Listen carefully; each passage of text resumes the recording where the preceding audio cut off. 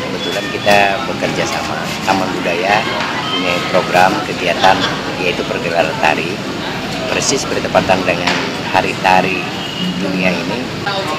Hari Tari itu uh, jatuh pada tanggal 29 April. Oh, jadi pas hari besok malah. Ini temanya untuk penampilan nanti malam apa sih? Bebas.